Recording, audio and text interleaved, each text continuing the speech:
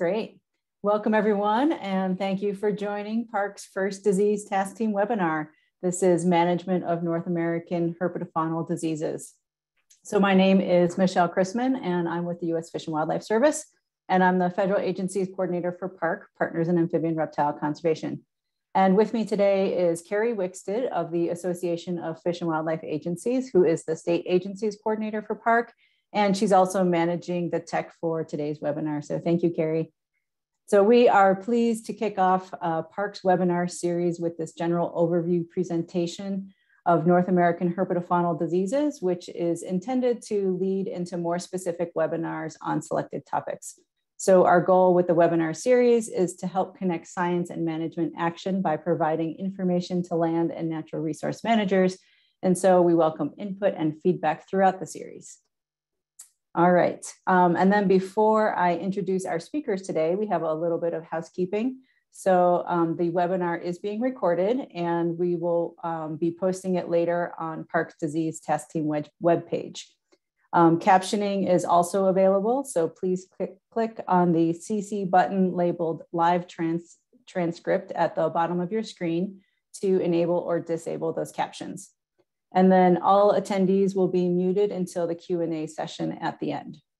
Questions can be asked via the chat during the presentation or at the end during the Q&A session. Um, Dee Dee Olson is also with us, and she is a research ecologist with the U.S. Forest Service and longtime member of PARC and the Disease Task Team. And Dee Dee is going to be monitoring the chat for questions that she may be able to answer, and then she'll also be collecting other questions for the Q&A session. And then finally, if you have any tech issues, please private message Carrie Wixted so she can help you out. All right, next slide.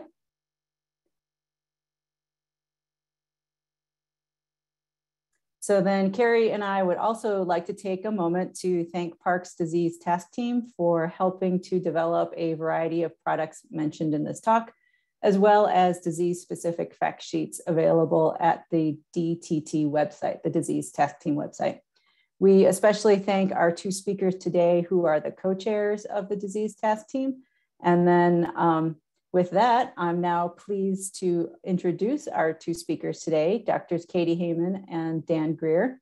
So Katie is a wildlife veterinarian with Pennsylvania and Washington states and has specific expertise in turtle shell disease from her work with Western pond turtles in Washington. And Dan is a research biologist with USGS at the Wildlife Health Center in Madison, Wisconsin, and works on a variety of wildlife disease systems. So welcome Katie and Dan and take it away. Great, thank you, Michelle. Hopefully you can all hear me now. Um, so yeah, as Michelle mentioned, this is the first of what we hope will be a ongoing series of webinars offered by the PARC Disease Task Team. And today we're going to do kind of a brief introduction, um, an overview of management of North American herpetofaunal diseases. Next slide, please. So first, I'd like to just highlight for the group, in case no, you're not familiar with what the Disease Task Team is. Um, and here you'll see our um, the, the website here at the bottom, and there's a whole lot of resources available at that website um, but the, the mission of the disease task team really is to facilitate and guide communication, collaboration on herpetofaunal diseases among the various PARC regions, including federal state agencies, um, partners up in Canada, and other various partners. We're made up, as you see here, the list of task team members. Um, we're a really pretty broad group with a lot of representation from state agencies, academia, academia um, and federal federal entities as well. And so there's four main objectives that the PARC uh, disease task team really has, and that is to identify issues and concerns for herp diseases, and then coordinate the development of research documents and have those documents be in one single centralized online place, um, which is this website at the bottom things like fact sheets and publications and um, various products that will be mentioned throughout this talk today. And then to help facilitate a rapid response, um, including surveillance and outreach to emerging pathogens um, of importance for herpetofaunal um, in, in North America. Uh, next slide, please. So this is just a brief um, outline for our talk. So I'll spend a few minutes on an introduction, um, kind of outlining some basics about pathogens and disease transmission in general. And then I'll turn it over to Dan, who will go through um, some, some threats for North American herps. And then I will wrap it up with looking at, you know, kind of a very high level overview of some some actions and management activities that that can be um, put in place for managing the health of herpetofauna um, herpetofauna here in North America. Next slide. So I think this is quite pretty clear to everybody here. It's why we're here. I think most of us are very interested in herp diseases. And I think we all are very aware that they are a priority for wildlife health in general, not just diversity species and not just reptiles and amphibians. They are definitely very important for biodiversity, ecosystem health. We all know that reptiles and amphibians play a role um, and, and serve, provide ecosystem services. And so it brings us back to this concept of, of One Health, which, you know, two years into a pandemic, I think we're all pretty, you know, becoming more aware of One Health. It's become definitely become a much more mainstream topic in the past two years. And herps and herp diseases should be a priority and are very much a part of that. Next slide. So just to cover a couple of, of basics, which I, I suspect many of you here are very aware already, but just a, a reminder, um, what is a pathogen? A pathogen is an organism that, that can cause disease. And I have you know, the four main types of pathogens here, a virus, a bacteria, a fungus, and a parasite. And parasites can be, you know, the typical worms that we think of, but it can also be protozoans and other single-celled entities that um, that cause disease and serve as a act as a parasite. Um, I, I do want to highlight in this slide that disease is a condition that can impair the normal functioning of an organism. So it tends to have um, pathogenic impacts on the organism. And the presence of a pathogen does not necessarily mean disease. We've all, you know, every every living thing on this planet has co-evolved with pathogens. And so we all have our own, you know, suite of pathogens, which their, their presence does not mean disease. Um, a lot of times, you know, you, you may see disease when the, there's an imbalance between the pathogen and the host, or if it's an emerging pathogen, something that you know is novel to the host, or you know it's a naive host um, to that pathogen, then you may end up seeing disease. But it is just really important, especially when you're thinking about surveillance plans and, and um, you know, surveying the, the landscape for pathogens, that finding a pathogen may not mean that the disease is present. It can still be extremely important. Um, like if we were to find B-sal um, in North America, that would be extremely important, and the disease would most likely be, you know, also be found. But it is important to keep keep in mind that difference, right, between just finding a pathogen and also a disease.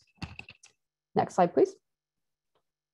And so modes of transmission of those pathogens, and again, I think this is probably you know bio 101 review for for most of us but there's a variety of different ways that um, uh, pathogens can be transmitted aerosol i think at this point we're very familiar with and this you know picture of somebody coughing uh, inhalation of droplets it's one of the main ways that we know covid-19 or sars-cov-2 is spread so i think again it's it's pretty pretty well understood by most of us. Uh, contact can be direct or indirect. It can be an insect bite that's a, a vector borne to a bite. It can be touching, you know, open sores or something, or touching a contaminated surface that would then lead to oral and or ingestion. Um, and then the vector borne. So, and I think the, these these are all, you know, the four basic modes of transmission definitely apply to amphibians and reptiles as well. Next slide, please. And so the components of transmission is, you know, what, how do we know, or how can we think about when a pathogen being present may end up causing disease? And it's this trifecta, um, which we have represented here with this, this triangle. So for a disease to occur, you have to have the pathogen present, you have to have an appropriate host, but you also need to have the right environment. So if one of these three um, things are missing, then you may, you're very likely not to have disease, right? So if you have a pathogen, but then you have an inappropriate or a, a host that is not susceptible, in the environment, you're probably not going to end up with a disease. But that can still be incredibly important when we're dealing with um, herpetofaunal pathogens because the pathogen that's present, even if it's not causing an issue in that population because of there's no susceptible hosts, it might um, it will be really important for biosecurity and the potential to then you know have a human move it move that pathogen into a, a new area or a new population that would be susceptible so keeping this in mind when you're thinking about biosecurity or pathogen transmission in general is, is really very important. Next slide. And so just a very wordy slide, I apologize for that, but just to run through some general definitions that are um, useful when dealing or, or dealing with uh, pathogens and diseases in all species really. But so a vector uh, is a living agent that can carry and transmit a pathogen to another living organism. An endemic disease would be a disease that is then maintained in a particular area or a particular population versus an emerging disease, which would be one that is recently appearing within a population or that we know the incidence and or geographic range is, is changing. And then a reservoir would be the habitat in which a pathogen would normally live, grow, can multiply. This could be an environment. It could also be the host, a, you know, host population. And then a fomite, I think, is a really important thing to keep in mind, especially when dealing again with biosecurity protocols. But a fomite can be, it's typically an inanimate object, so an object that can carry a pathogen. So, like your clothes, your tires, um, forks, you know, things that, or tools that you may be using to um, measure, say, a salamander or something, um, that can serve as a fomite and move a pathogen between populations or between individuals. Okay, next slide.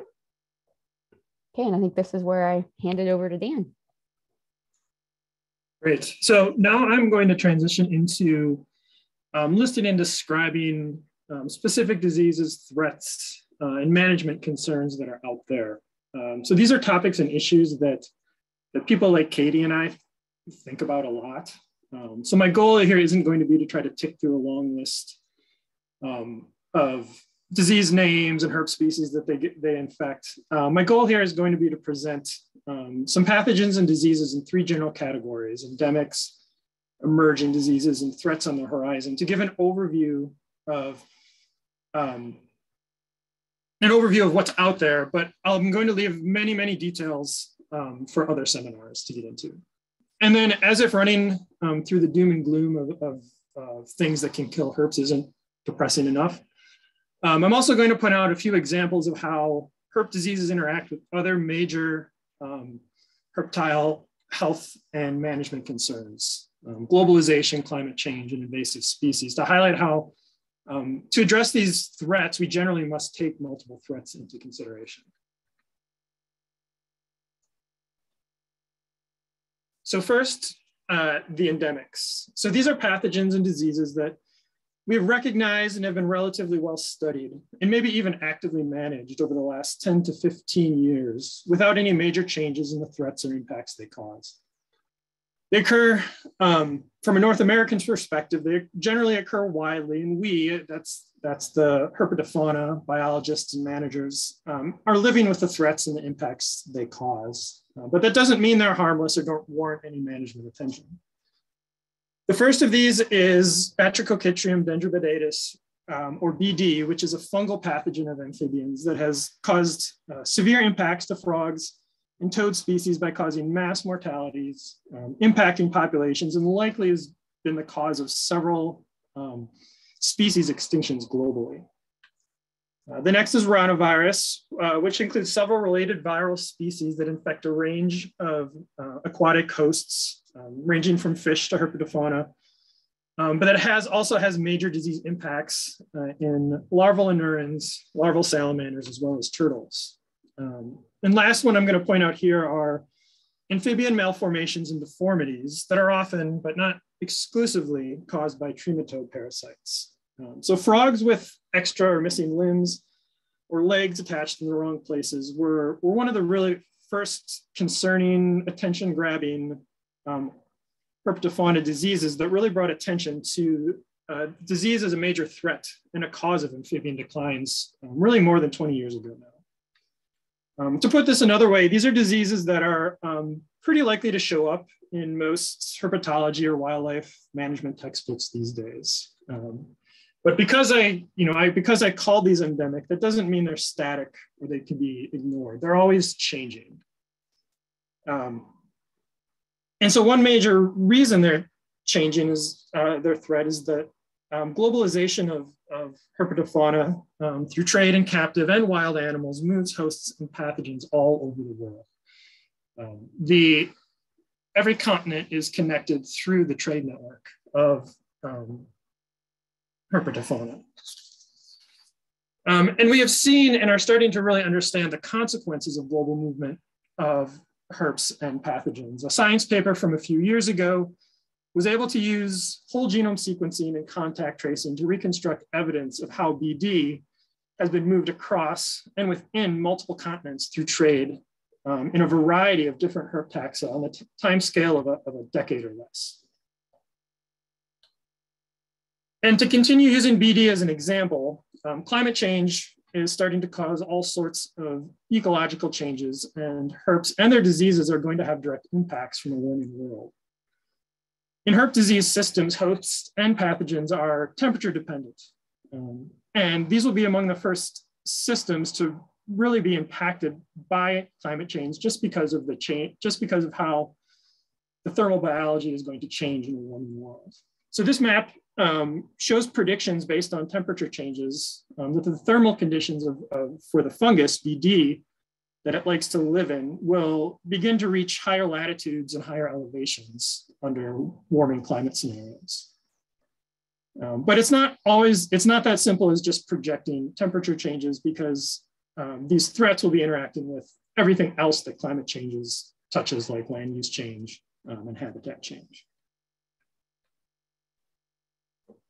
The next category we put herp diseases into is emerging pathogens and diseases. Um, these are often um, characterized because they're extant or occur nearby in a region of interest, maybe where you manage your state, um, your country, your ecoregion, um, but probably don't occur everywhere.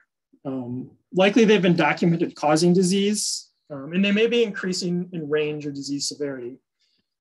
Uh, but there's much uncertainty in the extent or host range.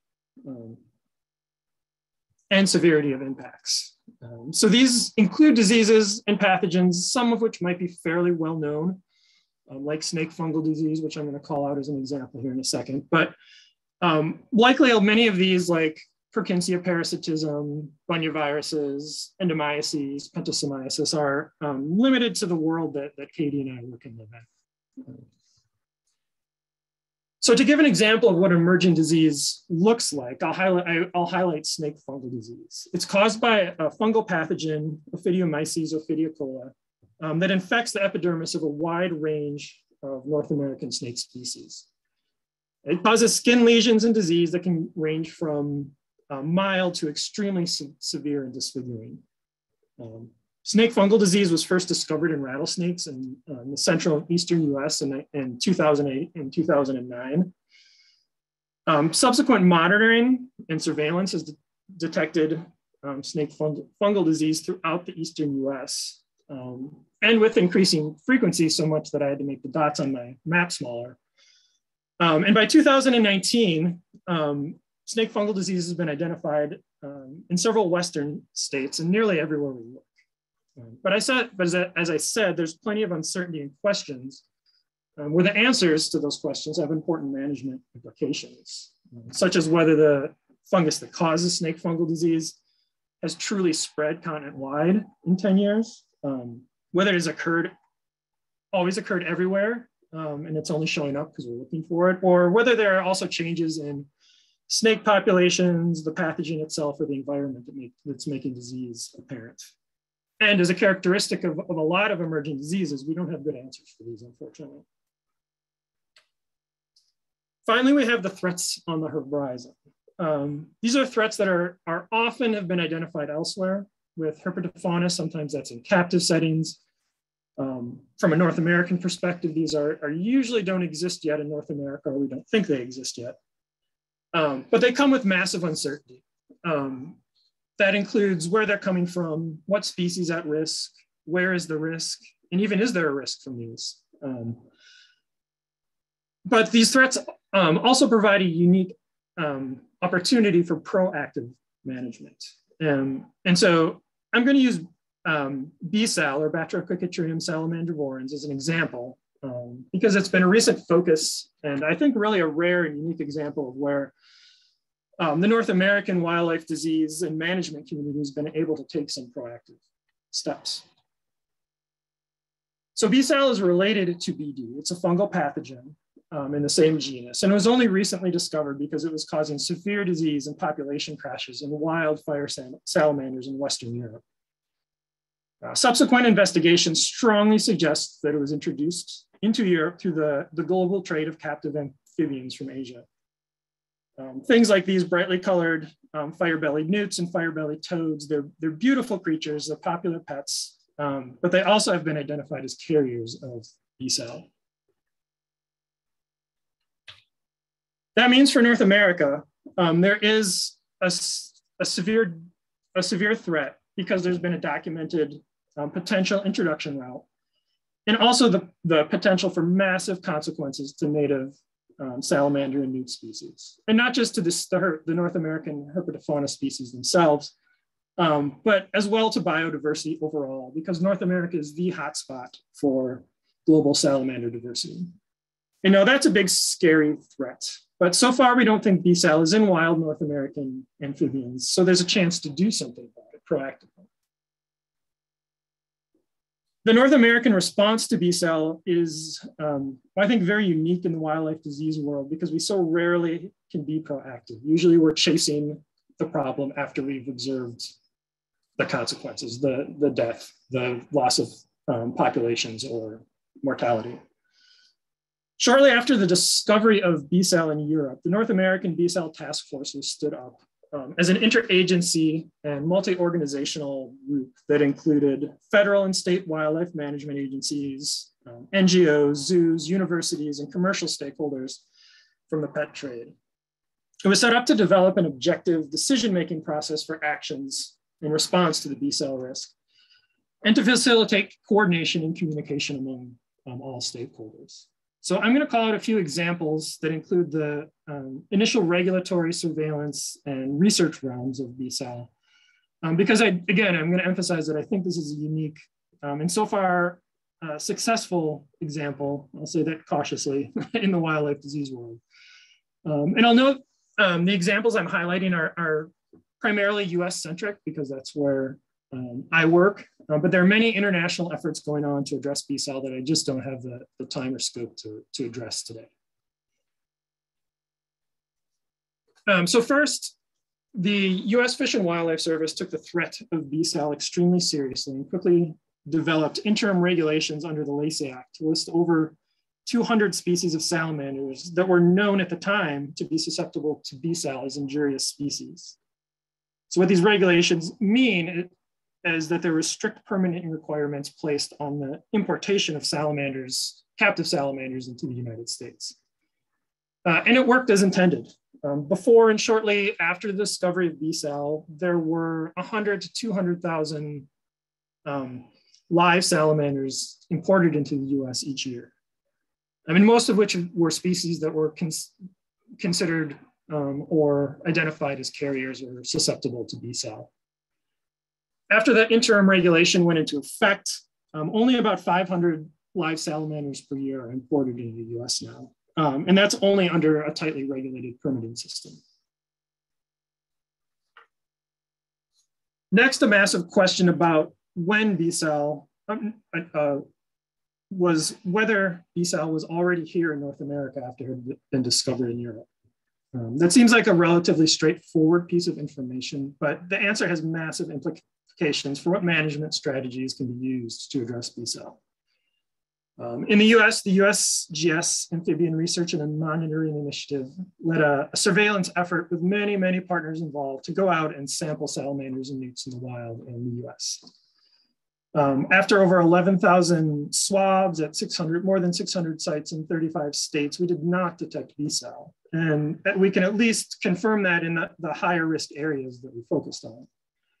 Um, and so that increased the confidence that B-sal um, isn't here yet, but it's still a long way from being definitive. And that, um, that remaining uncertainty brings me to the last point, um, that especially for emerging diseases or threats on the horizon, um, we are acting and reacting to these herpetofaunal disease threats in a shifting knowledge landscape. So two exam examples are ongoing research into the host range of B-sal. Um, not long after the interim US regulations on imp importation of salamanders went into effect, researchers in Europe detected B-sal on a fire-belly toad in the captive pet trade. Um, and these animals are very popular in the pet trade um, because they're bright, they're beautiful, they're, they're enjoyable to keep and have around. Um, but if you recall the import chart I showed before, there are um, as many as tens to even hundreds of thousands being imported into the US each year. And this highlights one of the challenges of management under uncertainty. Um, and these, as of yet, these um, non-salamander species have not been formally considered in a regulatory framework. Um, then there's a very recent discovery um, led by the research group of Matt Gray at the University of Tennessee, including uh, his students and a really outstanding multi-university research group, um, that Cuban tree frogs are susceptible to infection and even disease from B-sal and captive infection trials. Um, and, you know, yikes, here we are, we have a really significant shift in how we are thinking about the B-sal threat from salamanders to a lot of other amphibian species. Um, so far, this has only been demonstrated in um, the lab, um, but it does bring another massive management concern in here in that Cuban tree frogs are, are very invasive species in the southern US. So double yikes. Um, I'm can only imagine that those of you who deal with invasive species can imagine the, the, the increase in complexity of trying to navigate increasing um, invasive species issues with a high consequence disease thrown into the mix or vice versa. Um, so that's maybe not a super fun way to wrap up um, my section, but at least I'm done going with the overview of all this disease and pestilence. Um, but before I hand it back to Katie, I do want to acknowledge that I think, the, again, the response to BSAL has been a really positive development in being able to address and manage um, a wildlife disease threat proactively.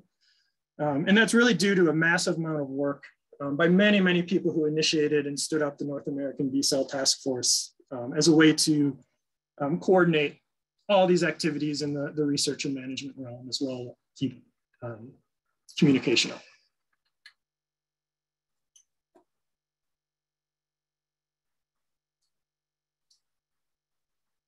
Great, thanks, Dan.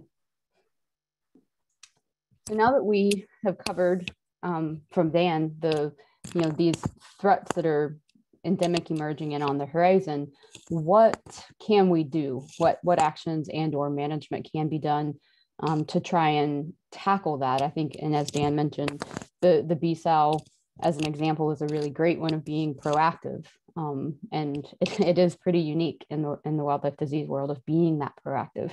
And so I think keeping that in mind as we move forward will be really valuable and hopefully um, it becomes, you know, a, an indicator or um, an example of what we can do with in, in future events. Uh, next slide, please.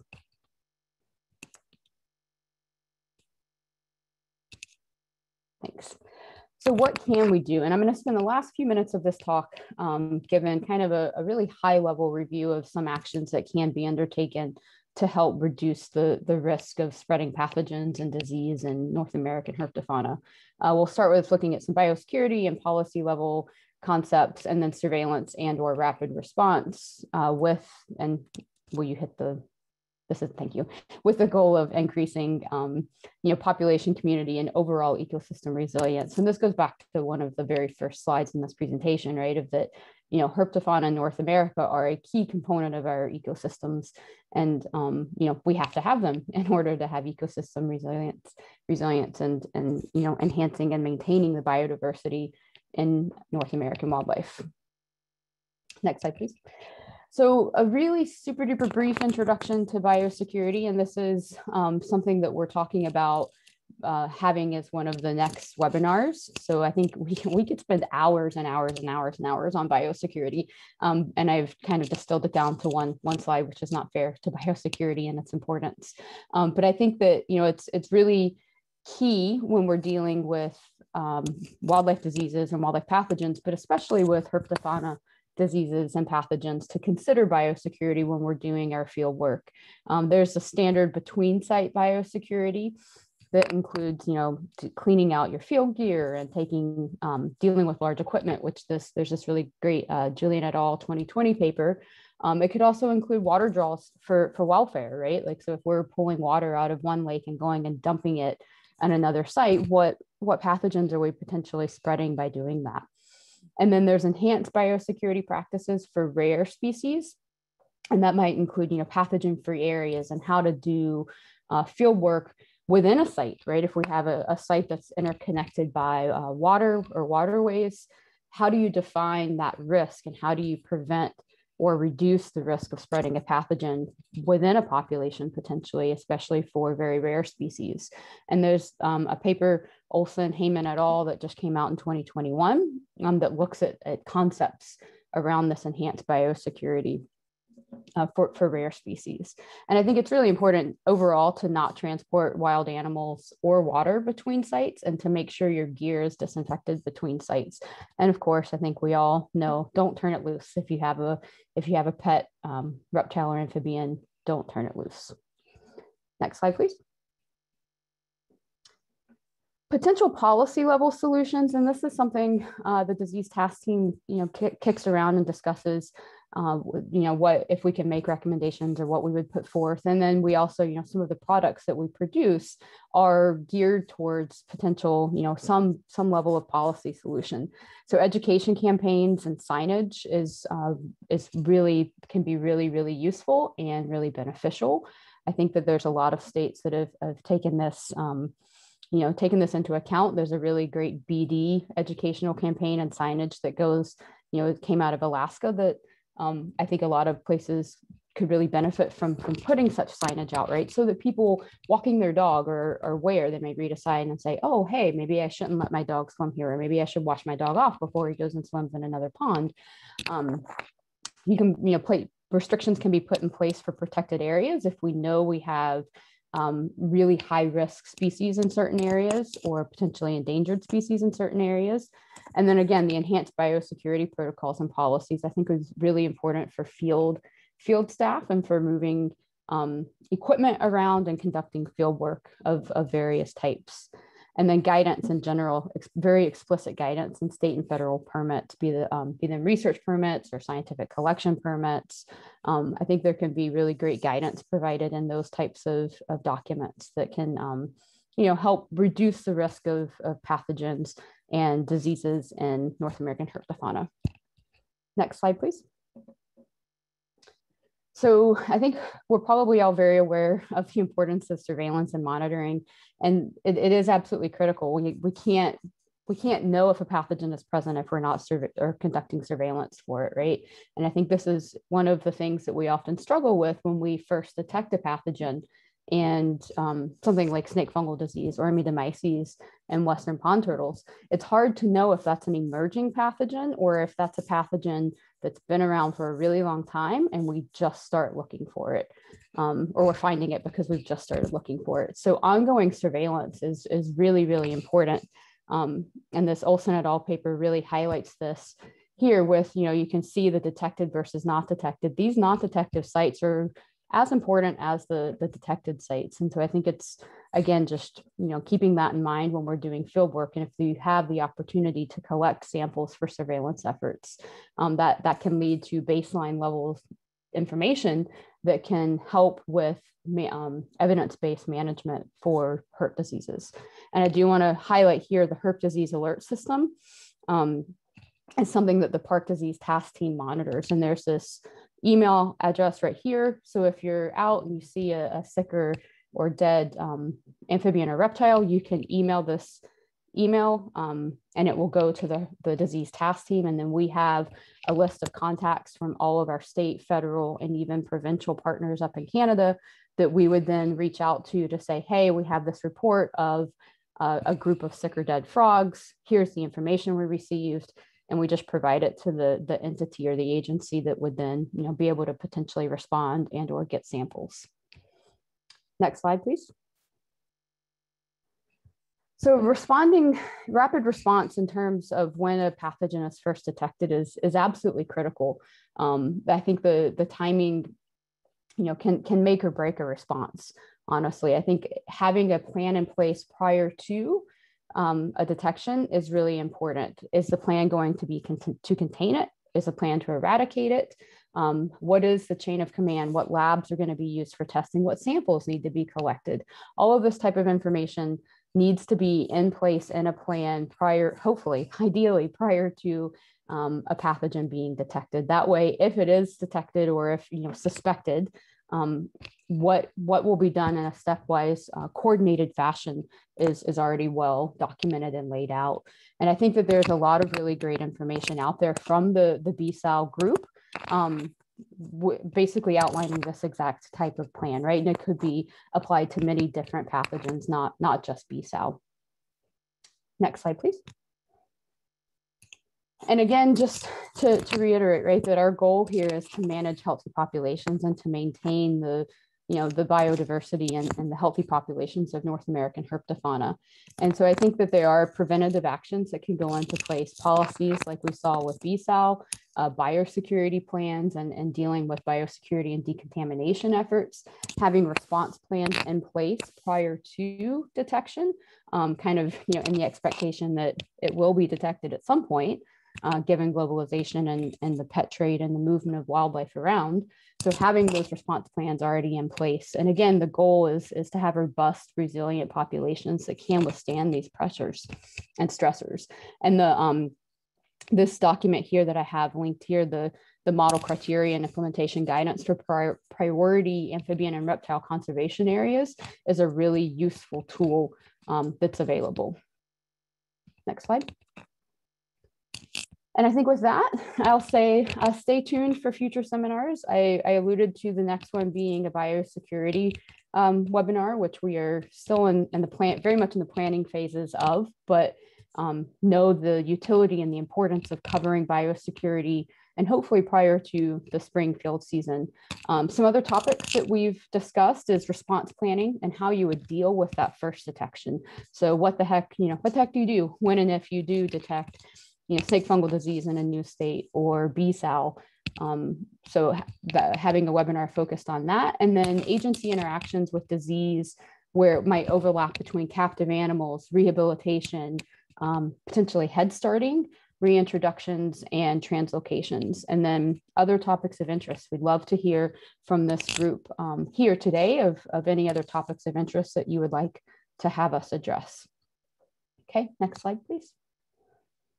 Okay, and with that, I think we'll we'll open it up for questions. And I will say that we're gonna um, we can accept questions if you want to raise your hand and ask a question um, verbally, or you can also just put questions in the chat. We'll be monitoring both. Thank you very much.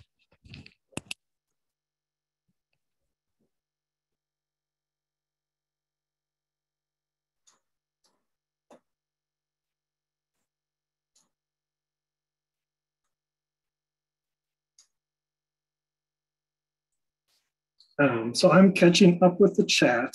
Um, and I see one of the first ones that um, Sarah Tangren had a question about um, doing risk surveillance, I think particularly in an invasive species setting. Um, there are some resources as far as surveillance regarding detecting um, prevalence of disease and designing designing surveillance programs um, on the PARC Disease website. There's a link there. And the concepts of that are very similar to um, probably what you're interested in applying. So if you're interested in looking, searching, um, I'd suggest uh, looking in the literature for occupancy sampling.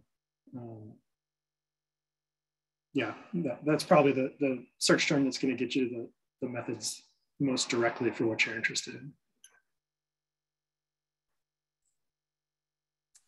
While people are still kind of getting their questions together to either enter into the chat or raise their hand, um, Dee Dee, if you could maybe uh, read out any questions for um, Katie and Dan to address. And Katie and Dan, if you pull any directly from the chat, if you could read the question out loud before answering, that'd be great. Thanks. Okay, this is Dee Dee. Um, so one of the first questions that came in the chat was from Sarah Tangren um, for Dan. Um, and so Dan, regarding risk surveillance, is there a specific statistical method that you can recommend for determining how many surveillance sites are needed to determine the presence absence of an invasive species uh, to within a specific level of assurance, like 95% confidence? Um, I've been trying to Google this, but I don't know the correct terminology. Yeah, sorry, that's the, that's what I just just uh, Oh, okay. Without reading the question first, hopefully just do this. Yeah. All right. Sorry, I was reading the chat while you were answering, so I missed what you said.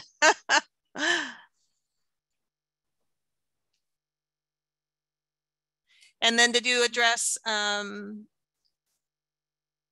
um, Phil's uh, deMaynadier's comment on um, uh, template, um, it says Katie et al. It would be helpful if your team could serve up some example template language for state and federal biologists to include in our scientific collection and research permits. So um, maybe Phil can um, expand on what he would like to see in, in permits. Is that for biosecurity? Um, is it for reporting of results of um, surveillance? Hi, Dee Dee. It's Philip here. No, I was thinking about biosecurity. I just think it's really, if we remember to put it in as consistently as we should, we tend to, I imagine the different states and biologists and staff, even within a state, are have kind of pretty loosey goosey language that is not consistent and perhaps not comprehensive enough.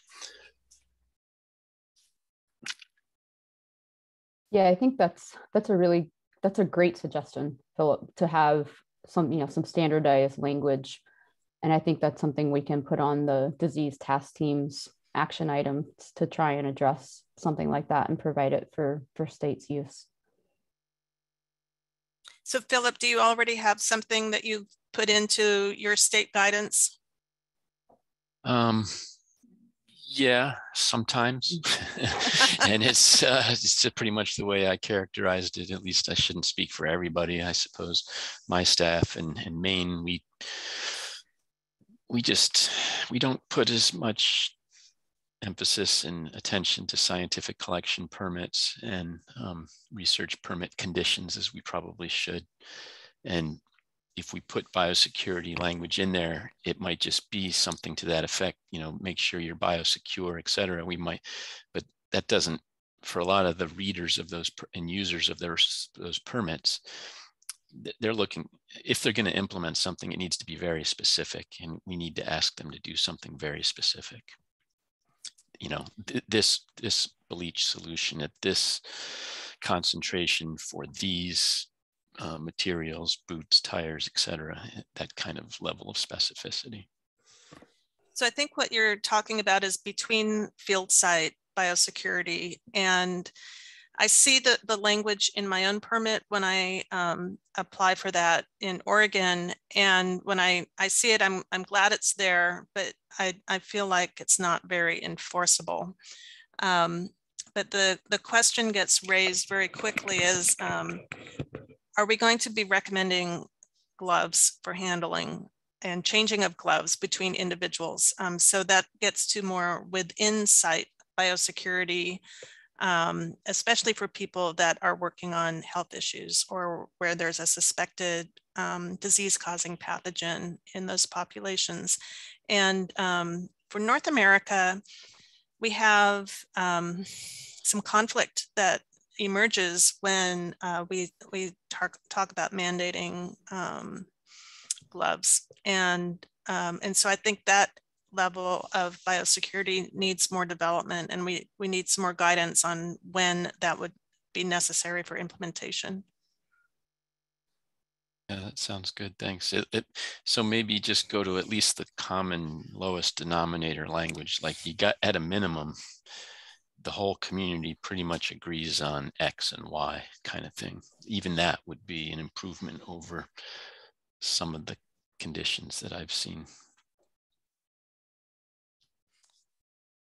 So I think we can um, we can draft some of this in our PARC disease task team and then do some outreach to states to see if it's sufficient and and get feedback from um, those especially those herp experts that are are on our contact list um, as being the, the leads for health issues for herps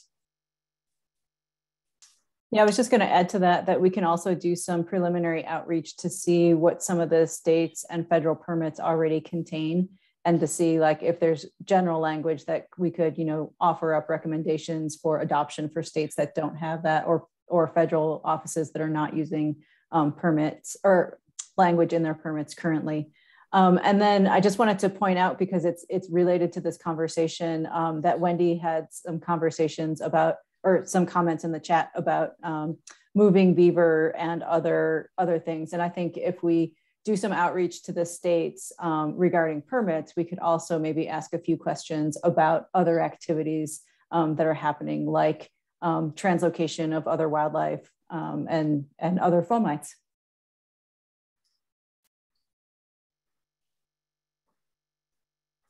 And just before we move on to the next question, I also want to point out that Greg Lips posted in the chat um, the Northeast PARC product about disinfection protocol. So that's one of the products that we often refer folks to. So that's something to check out.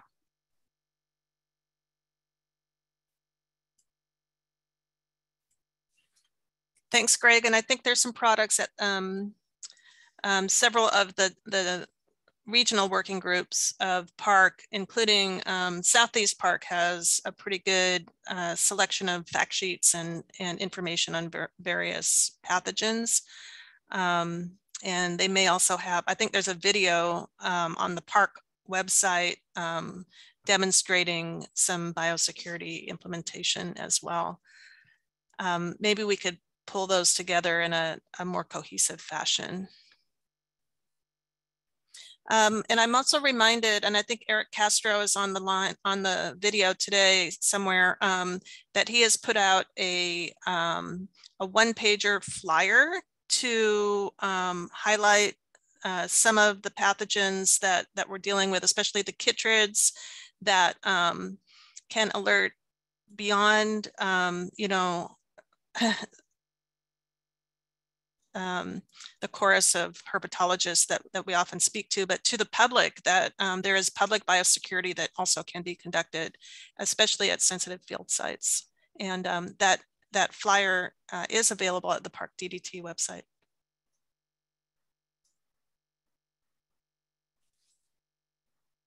And to go along with that, Eric had a question as land and resource managers in various regions begin to inform the public about those emerging pathogens, he wants to know if PARC has a standardized PowerPoint presentation template or something to uh, most accurately educate the public.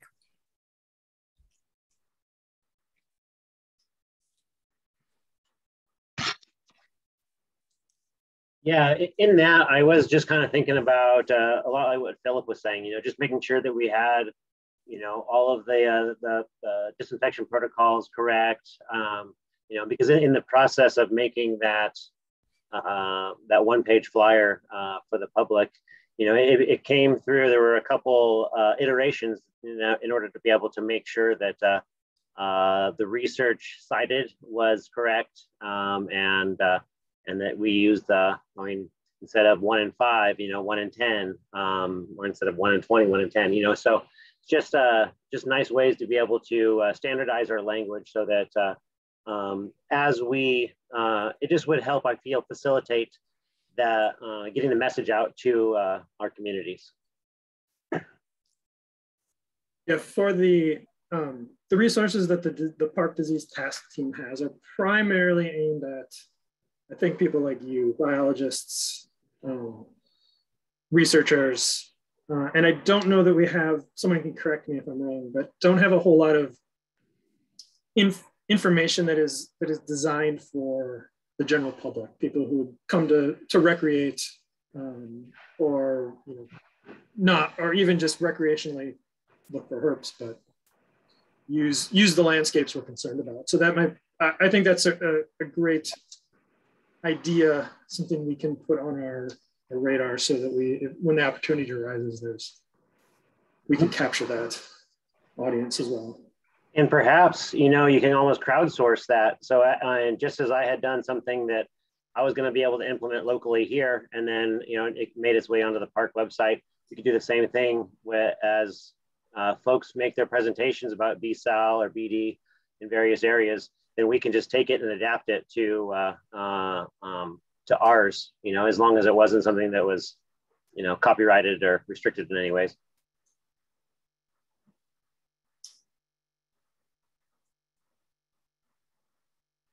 Thanks, Eric. Um, I've, I've, been reading the chat and I wonder if Matt Gray could um, speak just a second on when gloves might be recommended and um, add to the chat of, of the gloves. Hey, Dee Dee. Um, sure, be happy to just give my thoughts on it. Um, so I posted in the chat uh, a couple uh, papers, um, but one referring to you know the risk of not changing your gloves between handling animals. And uh, there's pretty good evidence at least with viruses and, and I'm, I'm pretty certain this would be the case with chytrid too because we can see chytrid can transmit within one between animals with just one second of contact. Is that you know they're shedding the pathogen you know through their skin whether it's a virus or whether it's um, chytrid and and and it gets on your gloves and if you go from animal to animal to animal um, the paper that I posted showed with, showed with ranavirus that you increase the, the chance of transmission and mortality of those individuals pretty substantially um, of uninfected individuals. So uh, we just need to, I think, be aware that when we're doing field studies that, um, you know, we don't want to um, alter the, the transmission dynamics within a large population of animals by taking a few infected individuals and spreading that pathogen unnaturally through the population. So um, I think everybody should take that into consideration. And, and then I think Greg uh, um, asked about um, any concern with gloves and toxic, uh, toxic effects of gloves. And, and, and we haven't had any issues at all with, with using nitrile gloves. And we've handled literally thousands of animals in laboratory across 50 plus different species with various um, experiments. And we always have control animals and almost always have 100% survival of our control animals, no negative impacts on them. Um, both survival, histologically, et cetera, through handling them with, with nitrile gloves. So um, since that paper back in 08, I think Scott and those published another paper walking back some of the suggestions of maybe not to use gloves um, I think overwhelm, overwhelmingly um, folks are in support of using gloves, especially nitrile gloves, um, when you're um, doing amphibian or, or, or, or herpetofaunal disease work. And ideally changing those between handling animals. I'll toss my recollection of that series of work as well is that a lot of the toxic effects came down to the manufacturing and powders and that type of thing that get on gloves. So identifying powder free nitrile or um, vinyl gloves and even if, if possible and in a safe biosecure way giving them a rinse before you handle the, um, the animals is a good way to reduce that potentially negative effect from any manufacturing residue on the gloves. In the chat, there was another question about biodiversity from Sharon Irwin on a different topic. Um, what would you recommend for cleaning a helicopter that is landing in multiple wetlands in a very remote area? And so I'd like to um, uh, reference the, the Jim Julian et al. paper that came out in 2020 that speaks to large equipment. So there are some guidance there. Um, but there's a practicality issue that comes with something like a helicopter. And um, uh, so Olson, Haman et al. 21 um, gave some suggestions for prioritizing uh, where you go first. And um, so for a helicopter that is, you know, newly launched, um, going to the least likely place that has um, pathogens uh, could be important. And um, that might be at a headwater where there's um, uh, no incoming source uh, from the water transmission of pathogens, for example, and then work down slope from there. And that would be for field crews as well as helicopters. Um, and then um, a practicality a practicality aspect is um, pathogens could become quite endemic to um, a watershed and you could work within a watershed without um, that biosecurity between sites but if you're starting to skip between watersheds, that might be the trigger for um, cleaning that helicopter. Um, and so you, it, so if you go within a, um, a watershed and you have um, a disease causing pathogen there, um, you might transmit it between locations within that watershed, but it's it's likely already um, naturally being transmitted or could be naturally transmitted within that watershed.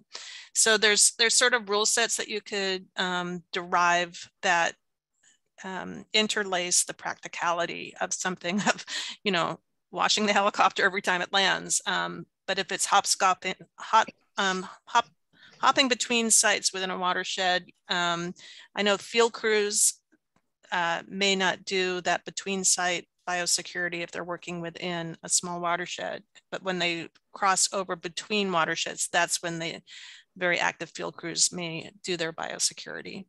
So, um, so that sort of thinking could apply to large equipment like that.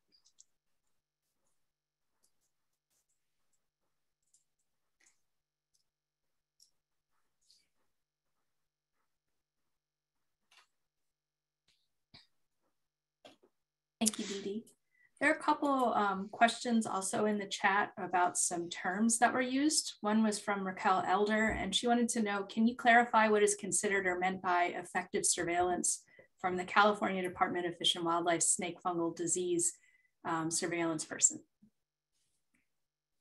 I can tackle that um, mostly to say that's that's probably going to make it into a future seminar in detail, but um, to give you my my quick quick take on that is that um, there's a ought to be a distinction between monitoring, which is looking for something, and surveillance, which is looking for something with a some sort of action on the back end of, of whatever you find. So effective surveillance, I think, is whether or not the um, the effort um, and the results are sufficient to take whatever action um, the surveillance is designed to trigger.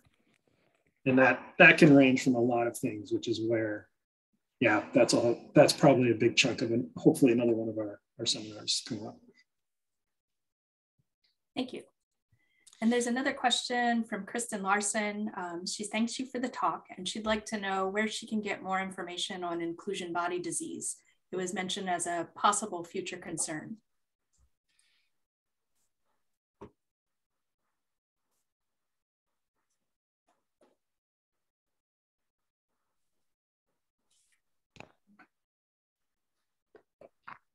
Dan, do you have, are there any USGS wildlife health bulletins or fact sheets or anything on inclusion body disease?